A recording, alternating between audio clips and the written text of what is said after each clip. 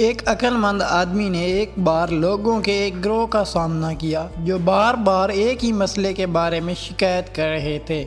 एक दिन उसने शिकायतें सुनने के बाद एक लतीफ़ा सुनाया, जिस पर सब हंस पड़े। फिर उस आदमी ने लतीफ़ा दोहराया, चंद लोग मुस्कुराए। आखिरकार इस शख्स ने तीसरी बार लतीफ़ा दोहराया, लेकिन किसी ने कोई रद्द अमल ज़ाहिर नहीं किया। आदमी मुस्कुराते हुए बोला आप एक ही लतीफ़े पर एक से ज़्यादा बार नहीं हंसेंगे तो आपको मसले की बार बार शिकायत करने से क्या हासिल हो रहा है?